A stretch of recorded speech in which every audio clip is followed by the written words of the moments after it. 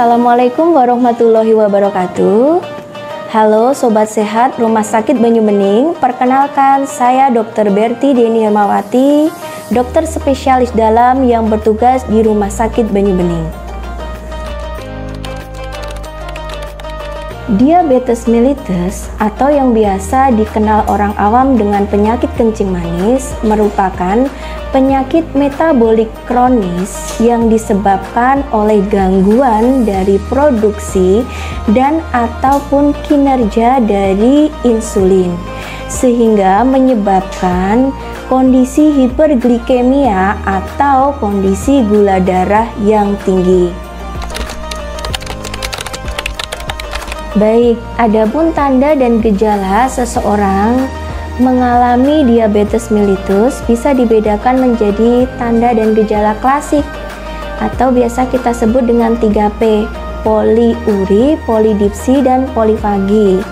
Poliuri atau sering berkemih, polidipsi atau sering haus, dan juga polifagi atau makan yang sering. Disertai dengan penurunan berat badan tanpa sebab yang jelas. Sedangkan tanda yang tidak khas bisa jadi ditemukan keluhan seperti mata kabur, adanya kesemutan di anggota badan, kemudian gatal-gatal, bisa ada e, keputihan atau gatal di vagina, serta disfungsi ereksi pada lelaki. Penderita diabetes mellitus diperbolehkan menjalani puasa Ramadan dengan catatan. Jadi, sebaiknya penderita mengkonsultasikan terlebih dahulu kondisi penyakitnya terhadap dokter spesialis penyakit dalam terdekat si dokter akan memantau paling tidak 2-3 bulan sebelum dilakukannya puasa Ramadan untuk mengetahui kestabilan gula darah ataupun penyakit penyerta lainnya. Dokter akan menstratifikasi pasien menjadi resiko sangat tinggi, resiko tinggi, resiko sedang, dan resiko ringan. Untuk yang diperbolehkan puasa adalah yang resiko ringan maupun sedang. Sedangkan yang resiko tinggi maupun sangat tinggi harus dengan kehati-hatian ataupun pemantauan ketat dari dokter. Begitu juga obat-obatan yang diberikan oleh dokter akan beberapa ada modifikasi dosis serta waktu pemberian terhadap pasien selama bulan Ramadan sehingga si pasien akan terhindar dari komplikasi-komplikasi penyandang diabetes mellitus ketika menjalani puasa Ramadan. Adapun beberapa komplikasi yang mungkin terjadi adalah yang pertama adalah kadar gula yang terlalu rendah atau hipoglikemia, yaitu kadar gula kurang dari 70 mg per dl. Adapun komplikasi lain yang bisa terjadi adalah kebalikannya, yaitu terjadi hiperglikemia atau bahkan sampai krisis diabetes, yaitu kondisi ketoasidosis diabetikum. Komplikasi lain yang bisa muncul jika tidak dipantau dengan baik adalah kondisi dehidrasi dan juga trombosis. Maka dari itu sangat penting penderita diabetes mellitus yang hendak menjalankan puasa wajib Ramadan untuk mengkonsultasikan kondisinya kepada dokter spesialis yang biasa merawat.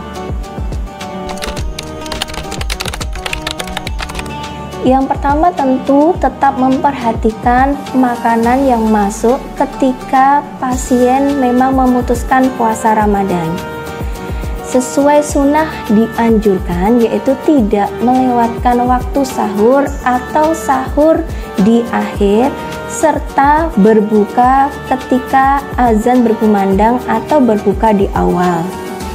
Adapun makanan yang disarankan adalah yang sehat atau menu gizi seimbang, ada karbohidratnya, kemudian ada proteinnya dan juga ada sayur serta buah serta hindari gula-gula atau makanan yang mengandung gula tersembunyi. Untuk minum sendiri juga dianjurkan jika tidak ada komorbid masalah jantung ataupun ginjal, dianjurkan sekitar 1,5 sampai 2 liter per hari yang bisa dipenuhi ketika waktu sahur dan juga ketika berbuka serta sesudah sholat taraweh. Air minum yang cukup di sini air putih sangat bagus untuk menjaga kondisi tubuh pasien diabetes yang rentan terhadap dehidrasi. Adapun aktivitas fisik adalah sesuai dengan kondisi pasien. Aktivitas fisik yang disarankan adalah yang ringan sedang. Jikapun pasien hendak melakukan olahraga, diperbolehkan, tetapi dengan pemantauan gula juga. Yang disarankan untuk olahraga adalah kondisi stabil dan juga mendekati waktu berbuka dengan dengan kehati-hatian adanya tanda hipoglikemia. Pasien juga disarankan untuk pemantauan gula darah secara mandiri dengan menggunakan glukometer. Jadi, bagi yang punya glukometer bisa digunakan paling tidak mengecek di tiga waktu ketika berpuasa, yaitu sekitar pukul 9 ataupun 10 pagi, pukul 12 siang ataupun sesudah asar sekitar pukul 16 sore. Untuk dipastikan tidak ada kondisi hipoglikemi atau kadar gula terlalu rendah kurang dari 70 mg per dl ataupun sebaliknya gula darah tinggi lebih dari 300 mg per dl. Jika ditemui dengan pemantauan gula tersebut ataupun didapatkan gejala seperti pusing, keringat dingin, adanya mual muntah, rasa ingin pingsan, berdebar-debar, ataupun tanda-tanda hipoglikemi lain, maka disarankan untuk dibatalkan puasanya terlebih dahulu untuk kemudian dikonsultasikan dengan dokter terdekat mengenai boleh tidaknya lanjut puasa ataupun perubahan regimen obat jika memang uh, diperlukan. Untuk sobat sehat Banyu Bening yang kiranya mengalami tanda dan gejala diabetes atau sudah terdiagnosis diabetes dan juga ketika menjalani puasa Ramadan mendapatkan halangan atau komplikasi baik gula darah terlalu rendah ataupun terlalu tinggi bisa kami bantu atau mengunjungi dokter spesialis penyakit dalam yang ada di Rumah Sakit Banyubening. Wassalamualaikum warahmatullahi wabarakatuh.